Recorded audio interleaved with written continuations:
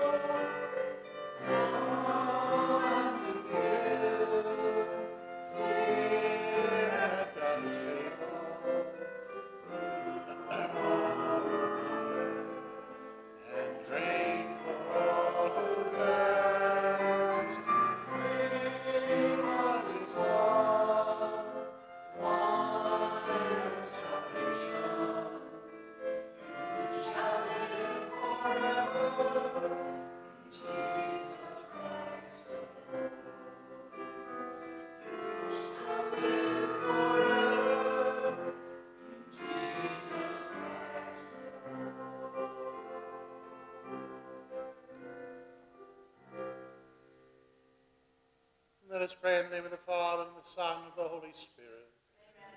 The Lord is with you. And with your spirit. As we come into God's presence, let us call to mind our sinfulness. Lord Jesus, you are the Lord of the harvest. Lord, have mercy. Lord, have mercy. Christ Jesus, you are the way that leads to peace. Christ, have mercy. Christ, have mercy. Lord Jesus, you are the tireless servant of the Father. Lord, have mercy. Lord, have mercy. Almighty God, have mercy on us, forgive us our sins, and bring us to everlasting life. Amen. Amen.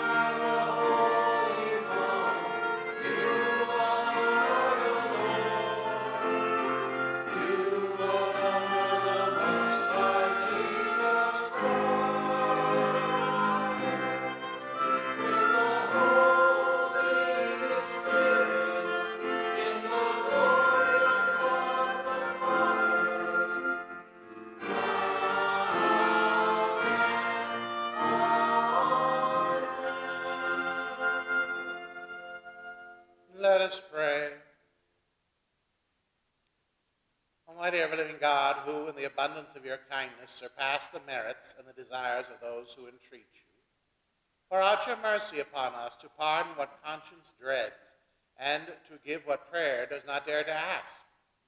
For our Lord Jesus Christ, your Son, who lives and reigns with you in the unity of the Holy Spirit, one God forever and ever. Amen.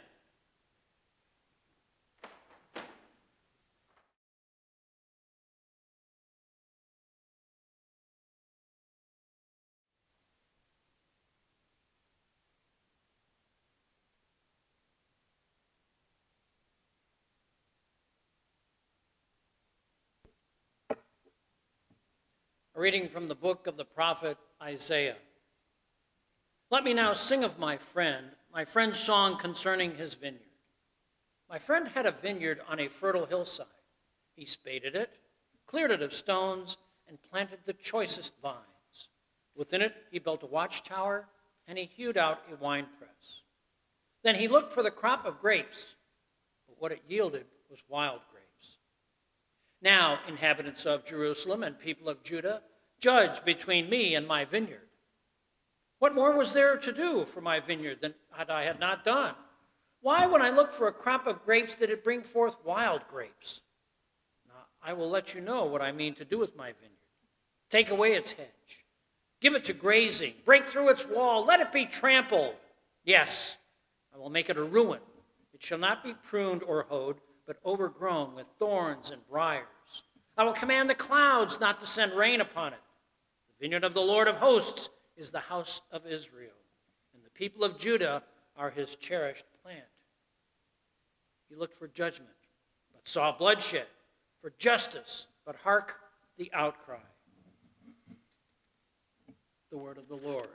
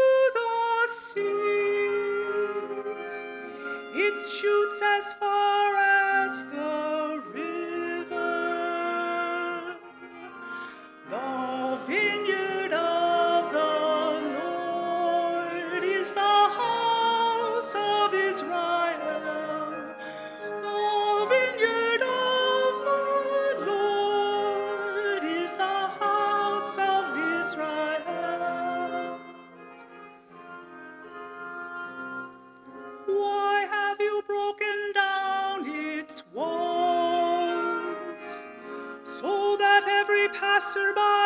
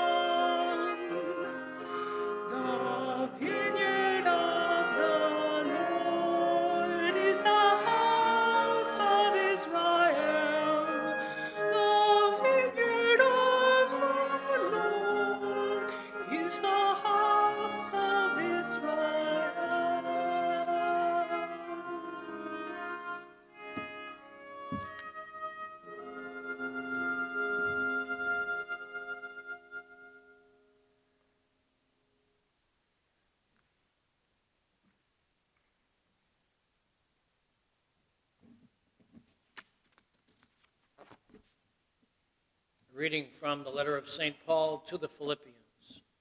Brothers and sisters, have no anxiety at all, but in everything, by prayer and petition, with thanksgiving, make your requests known to God. Then the peace of God that surpasses all understanding will guard your hearts and minds in Christ Jesus. Finally, brothers and sisters, whatever is true, whatever is honorable, whatever is just, whatever is pure, whatever is lovely, whatever is gracious, if there is any excellence, and if there is anything worthy of praise, think about these things. Keep on doing what you have learned and received and heard and seen in me. Then the God of peace will be with you. The word of the Lord.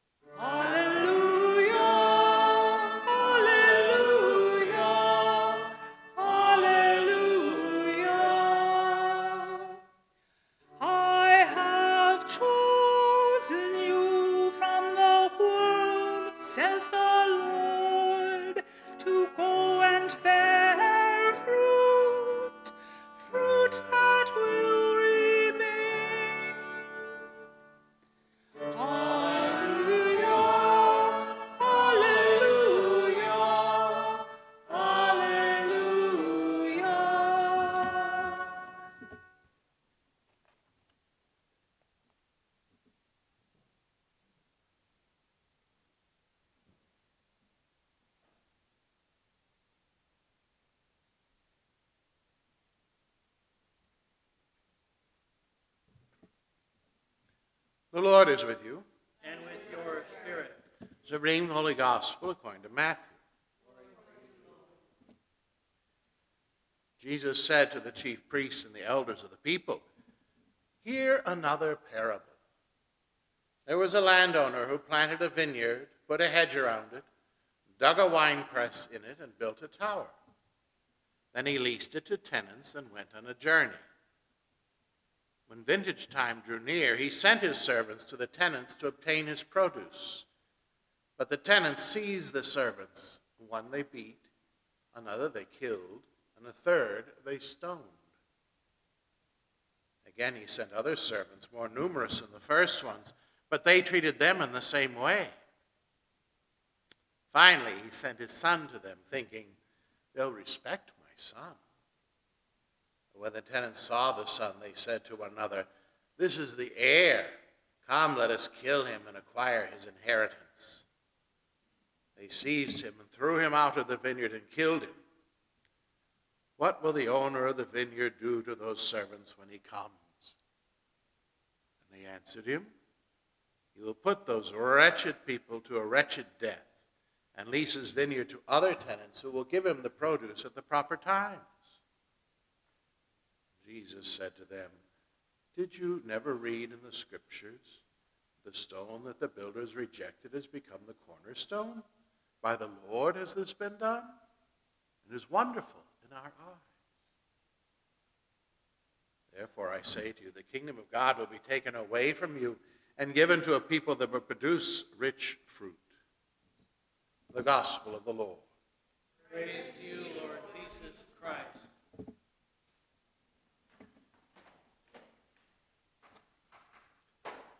Indeed, three of our scriptures today have to do with the vineyard, God's vineyard, as it was in the time of the Israelites, the time of Jesus, and you know the method in which the vineyard would grow or survive or produce or not produce. In the Old Testament, you know, Isaiah saying the people of Israel, you know, they become wild and out of control. And so they're producing only the wild grapes after the Father has planted the vineyard and protected them and guarded them and put in the good soil and nurtured them. You know, they have turned their back. And so he promises, you know, this will be the end of this sort. You know, I will knock down the, their protections, I will take away their healthy soil and I will leave them to be overgrown with weeds and to be desolate with no rain to water themselves. He's doing that because the house of Israel has been unfaithful, you know, not caring. Jesus goes back to the idea of the vineyard, but in this case, you know, the house of Israel takes it over, you know, wants to control it, doesn't want to follow God's ways or God's promise. So the servants, the prophets, are beaten or killed. And ultimately, the Son, Jesus, comes, and him they seized and killed, hanging him from a tree. You know, the vineyard, we are all part of God's vineyard. You know, wherever we find ourselves in life, from the moment of our baptism, you know, we are called to be nourished and to grow and to bear fruit. Fruit that will last, fruit that will nourish people fruit that will draw people to a sense of faith. And Jesus and God never said, you know, there won't be difficult times, there won't be weeds in your garden, there won't be things in your way, but you have to remember that it is God's garden that you tend, and you are his vines, and you are being the fruit that is produced. And that fruit is to, you know, make choice wine we gather around God's table and we celebrate the Eucharist, let us continue to pray that we do bear fruit, even in these difficult days, that we don't give in to weakness or temptation or frustration, but that we look forward to the kingdom of God and we produce the fruit that God desires.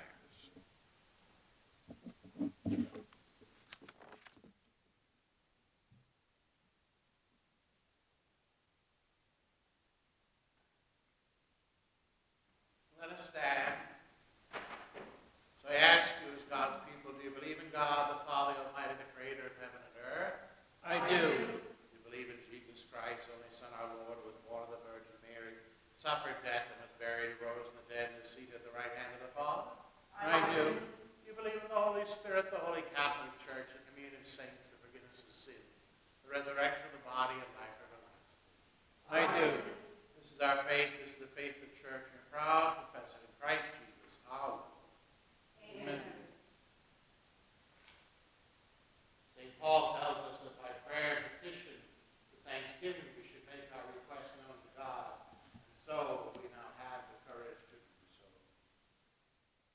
the church, that we may produce fruit for the kingdom of God through acts of love, humility, and compassion, we pray.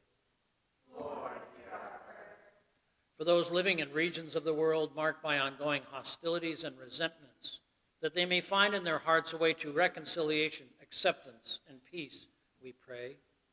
Lord, that we may foster and encourage a true and lasting respect for all human life, we pray. Lord, for those who harvest in fields and on farms, in orchards and vineyards, that they may be paid a just wage and treated humanely, we pray. Lord, for those who are responsible for the future of our country, our environment, and our safety, we pray. Lord, for the sick and the dying, especially all on our prayer list, and those suffering from COVID 19 and Mel Washington, for those who have died. Lord, end the devastating fires in the West and for those who have lost their lives, we pray.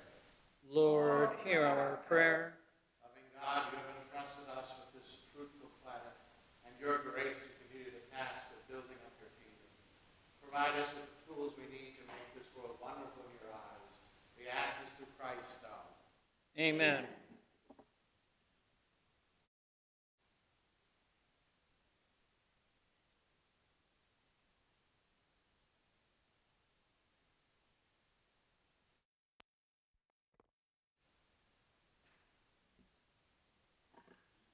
This is so unlike of you, sharing living in Christ and humbling yourself to share in our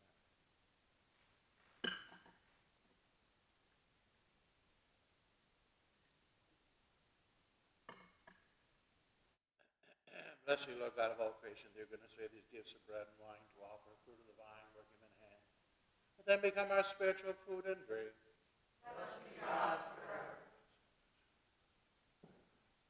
Lord, wash iniquity and cleanse me from my sin.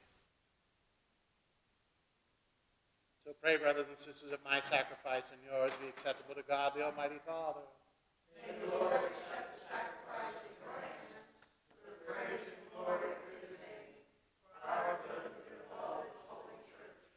Accept, O Lord, we pray, the sacrifices instituted by your commands, and through the sacred mysteries which we celebrate with dutiful service, graciously complete the sanctifying work by which you are pleased to redeem us through Christ our Lord. Amen. The Lord be with you. And with your spirit. Lift up your hearts. We lift them up to the Lord. Let us give thanks to the Lord our God. It is right and just. it is truly right and just, our duty and our salvation, always and everywhere to give you thanks. Lord, Holy Father, Almighty, Eternal God, for you laid the foundation of the world and have arranged the changing of times and seasons. You formed us in your own image and set us over the whole world in all its wonder, to rule in your name over all you have made and forever praise you in your mighty works, in Jesus the Christ. And so with all the angels we praise you as a joyful celebration we proclaim.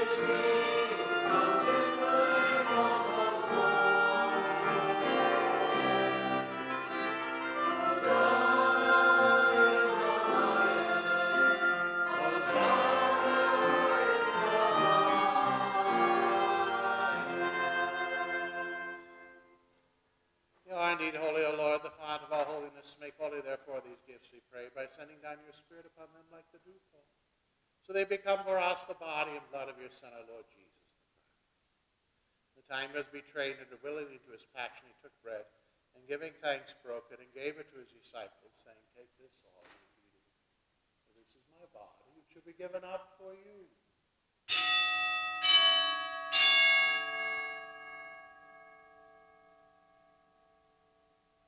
Similar way, in supper was then he took the chalice. Once more giving thanks, he gave it to his disciples, saying, Take this, all of you, and drink from it, for this is the chalice of my blood, the blood of the new and eternal covenant, which you poured out for you and for many for the forgiveness of sin.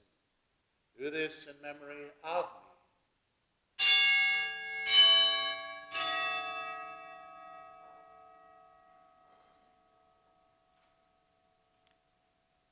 The mystery of faith.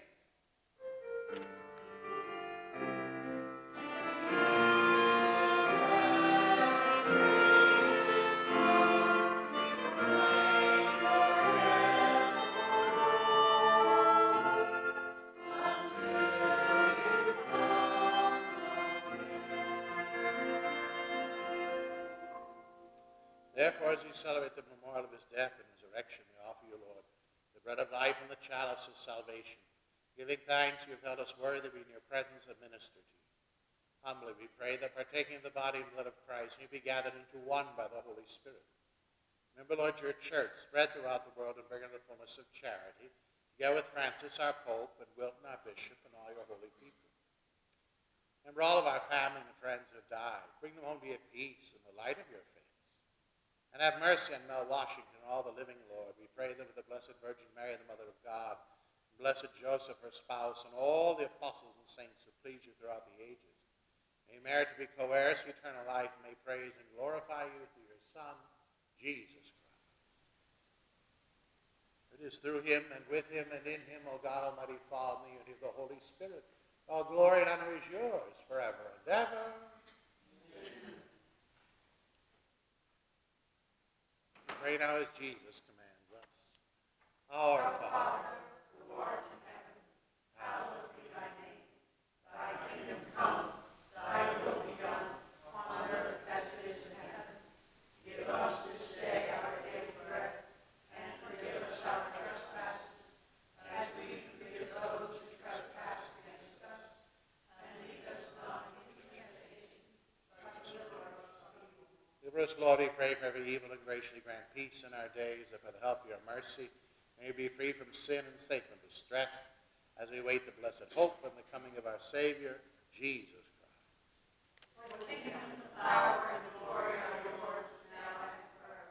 Lord Jesus Christ, you said your apostles, peace I leave you, my peace I give you. God on our sin, but on the faith of your church, and graciously grant her peace and unity, in accordance with your will, who live and reign forever and ever. Amen. Peace of the Lord be with you all.